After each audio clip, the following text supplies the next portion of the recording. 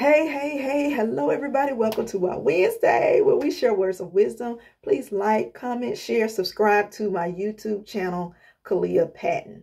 Now, you know we've been talking about mental health awareness. We're going to continue to talk about this um, ongoing topic, much um, needed topic for the season, for our community, our people, we need to talk about this. So, so we're going to do it like a continuation of what we talked about from last time, but there will be another topic for this time.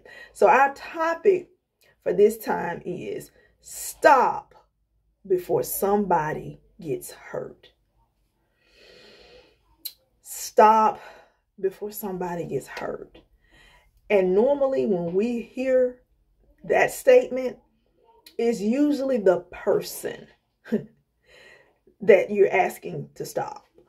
That's the person that will get hurt the first, you know, in the beginning, because it's mostly the inner person, the inner conflict, the inner struggles, whatever they're battling with. They're hurt before they hurt someone else. So, what we tend to tell them to do is stop that means be aware of what's going on. Be aware of what's going on internally with you. Be aware of how things have affected you over the years. How things that you have gone through in your childhood, in your your uh, adolescent, your teenage, your young adult, your middle age, your old age, wherever you are on that spectrum, realize that you've been here X amount of years. You have gone through a lot of tests, trials, storms. You have gone through some trauma. You have gone through some pain, heartache. You have gone through some grief. You have gone through a lot. So sometimes you just got to stop. You got to stop and smell the roses. Stop, smell the coffee. Stop and look at your life. Look at everything that has happened. Look at what's happening. Assess what's going on. Sometimes we react more than we reflect. Let me say that again. A lot of times, I'm going to say that, we react instead of reflect. We need to reflect more because then that will show us exactly what we're wrestling with, what we're dealing with, what our struggles are, what our issues are, issues are. Just stop and assess. Stop and reflect.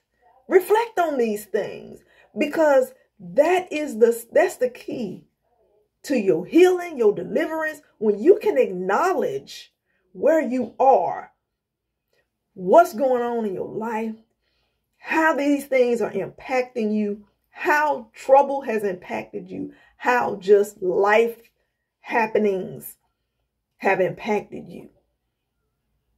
You hurting yourself when you don't get help for yourself. When you got stuff going on here, you hurt yourself when you don't deal with yourself. You got to deal with yourself.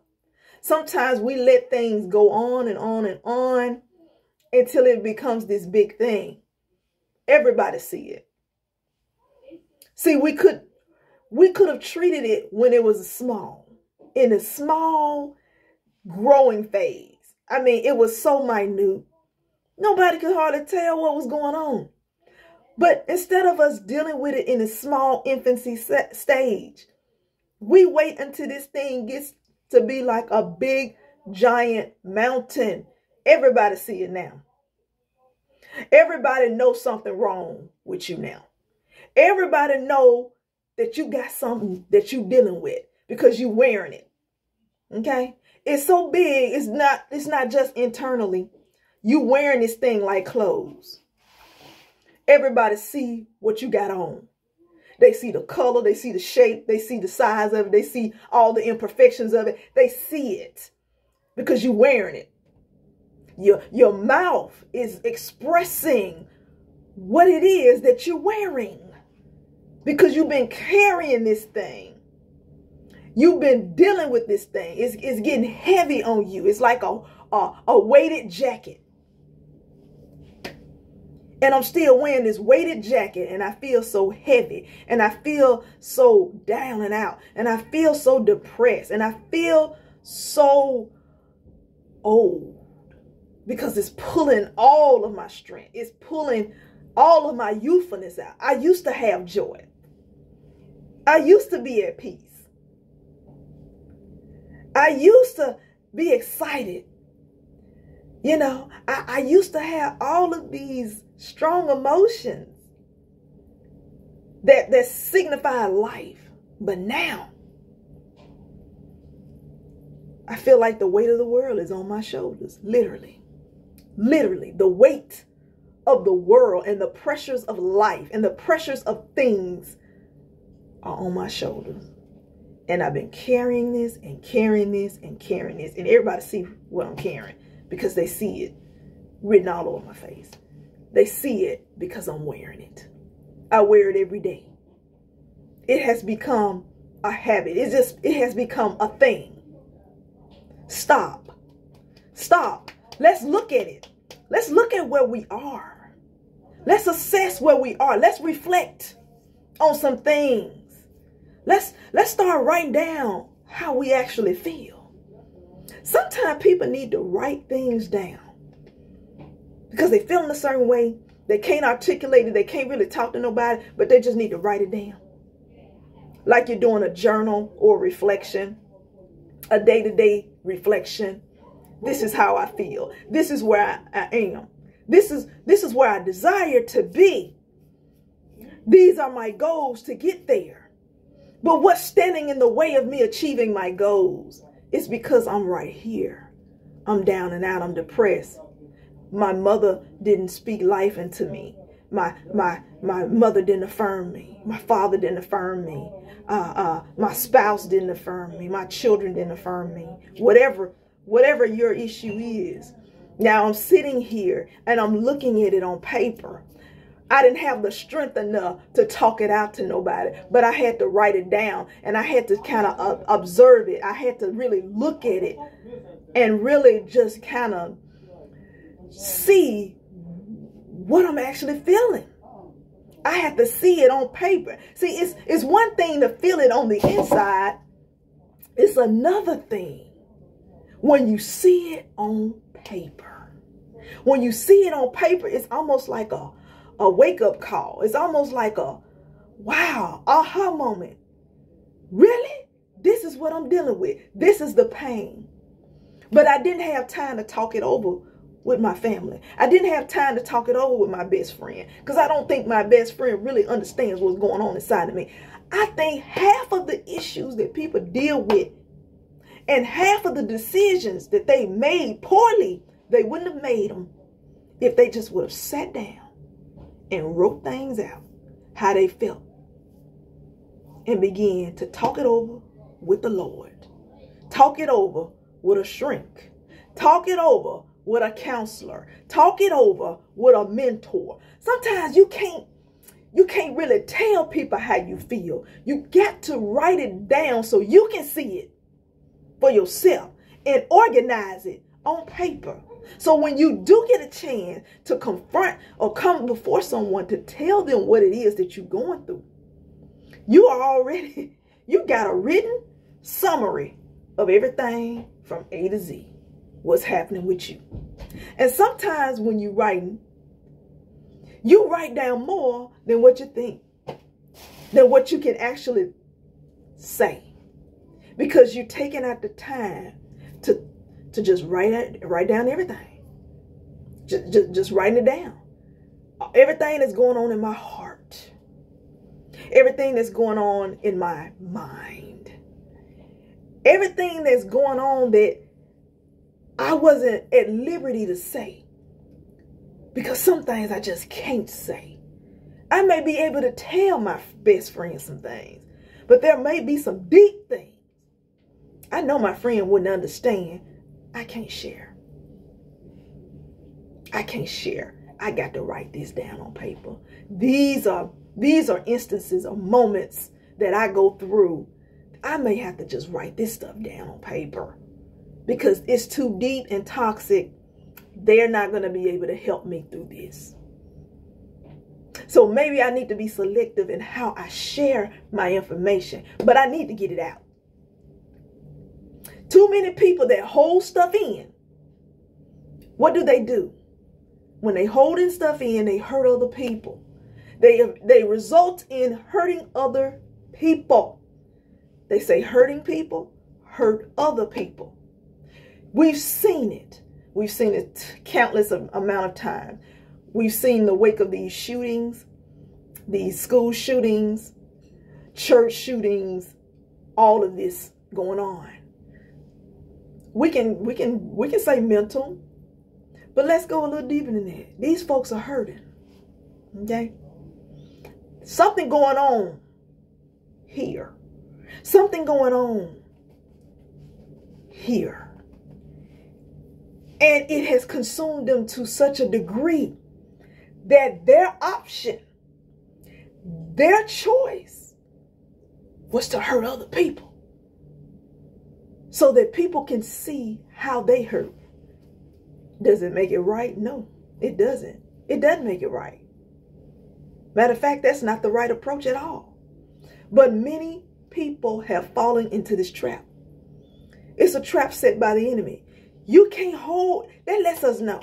You can't hold that type of information and just keep it in a, in a little box inside your mind, in a tiny little case inside your heart. You, you can't do that. You're going to explode at some point. You're going to explode. It may not be on, on your best friend. It may not be on your spouse. It may not be on your children. But it's going to come out at some point. And it may be damaging. You may not go out and kill people. You may not go out, but your mouth is like a sword. When you're when a hurting person begins to speak, what's going on inside of them because they had it has gotten to the point where they couldn't hold it and contain it any longer.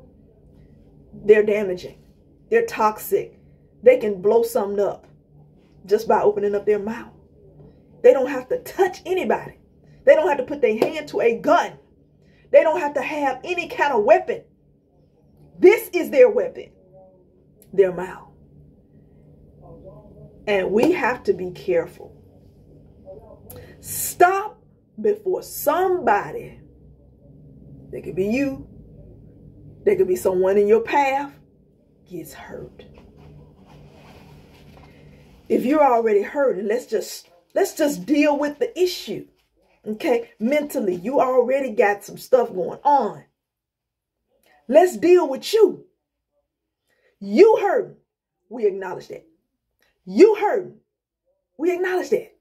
You dealing with stuff. We are acknowledging that. Let's begin to unload. Let's begin to process everything. Let's begin to, if we got to, write it down on paper. Articulate this stuff. Sometimes talking, talking it out. You know, just have a dialogue with the Lord and just begin to just tell the Lord, okay, Lord, I hope your ears are open. I'm ready to tell you how I feel because I need to release myself and I need I need you to talk back to me to tell me what I need to do because I'm dealing with pain. I'm dealing with hurt. I'm dealing with trauma. I'm dealing with issues.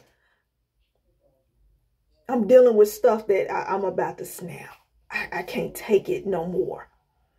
But I'm going to have to let this stuff out because there's a there, there's that small window a lot of times people slip off into paranoia. They'll slip off into a bipolar situation. They'll slip off into something they would not have ever slipped off into. And what they deal what they use to cope with the pain is not helpful. Drugs are not helpful. Marijuana's not helpful. Alcohol is not helpful Sex is not helpful. It complicates the situation. Picking up pornography, picking up bad habits, overeating, emotionally eating, is not healthy. It won't benefit you. It's further complicating your situation. We got to deal with what's going on inside of you, and you can't ice it with these things that we just mentioned that will cause other problems. Problems on top of problems lead to more problems. We just can't do it. We just can't do it. We just can't pile problems on top of problems. We got to deal with the issues at hand. What's going on in my mind? Let's deal with that. What is going on in this heart? Let's deal with that. And when we deal with those issues, we will begin the process of the healing. Healing is a process. It's not a fly by night. It's not a Rome one built in a day situation because you know Rome's not built in a day. It couldn't have been.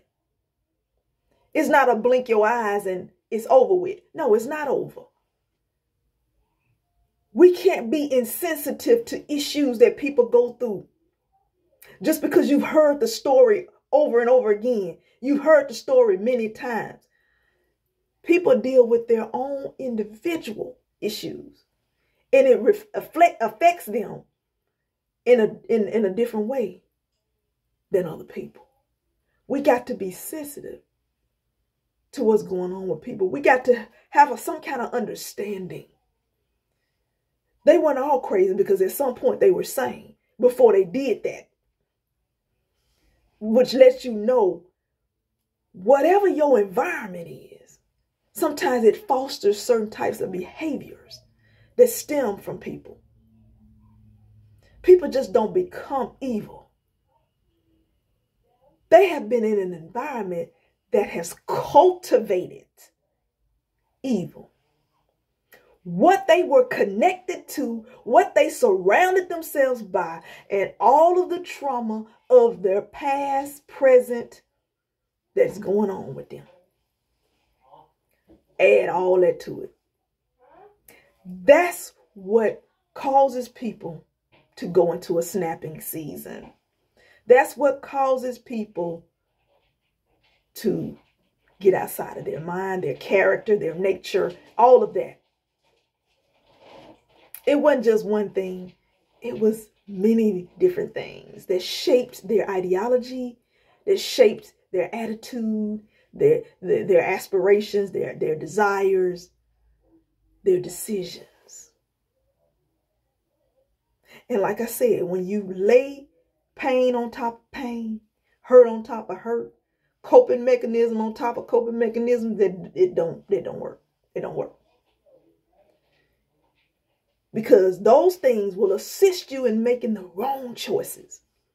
Those drugs will assist you in making bad choices. Choices that'll land you in prison. Choices that'll land you in the grave. Because it could backfire on you. So, so this is what I'm saying. Stop before somebody, it's including you, gets hurt. We need to identify what's going on. You may be your own worst enemy. And the fact that you won't deal with your pain and you won't deal with your struggle, you cheating yourself. You cheating yourself when you need to be healing yourself. You cheating yourself when you need to be dealing with yourself. I'm talking real talk now. And this goes for everybody. Now, no certain group of people, everybody. You cheating yourself when you don't deal with yourself. Let's deal with yourself today. Deal with yourself. Come to terms with yourself. Acknowledge that yes, Things have happened to me. Things that I have allowed. Things that I was being put in harm's way. I was vulnerable. I was a victim to what happened. Whatever that situation is. because we can't blame ourselves for things people have done to us. And then sometimes we'll say, well, I allowed it. Well, I think a good bit of the time, if you really knew how it would have ended or the process, you wouldn't have gotten into it in the first place. And if you were strong enough here by having a good, stable background, upbringing that would have encouraged you not to make certain choices, you wouldn't have landed where you did. But we bought some sense. We went through some things and we've learned some things along the way. Experience is a great teacher. Yes. But with those experiences, all of them were not good and they caused us some inflicted pain, some anger, some issues, some struggles. But we got to stop and take the time to deal with ourselves. Begin to find out what can we do to bring ourselves to the place where we process everything that we've gone through.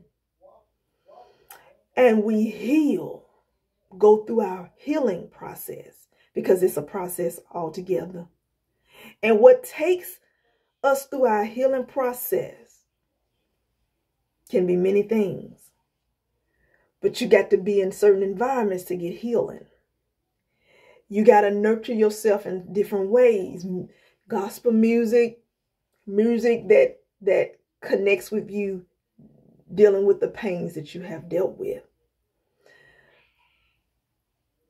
A strong message, positive message, encouraging message from a leader, church, pastor, evangelist, teacher, that will further help you to maneuver through this pain and process this pain.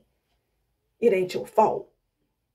Sometimes people think it was my fault, the reason why I went through this, I went through that. But helping you maneuver through that. And the Word of God you can flip through the word and find scriptures. You can Google when I'm feeling lonely, when I'm feeling abused, when I'm feeling rejected, when I'm feeling like someone has mistreated me. Those scriptures will come up. You will find them. Talking to God. That's that's ultimate. That's that's that's the ultimate one. But we got to deal with this pain, y'all. We got to deal with this trauma. We got to deal with what's going on inside of us before we hurt ourselves and we hurt others in the process. So this is our Wow Wednesday. I pray that it was something that I have said that has encouraged you, that has inspired you to deal with you. Whatever's going on inside of you, whatever that trauma is, whatever that pain is, deal with you. All right, you all. We'll be back next time for another Wow Wednesday. Bye bye.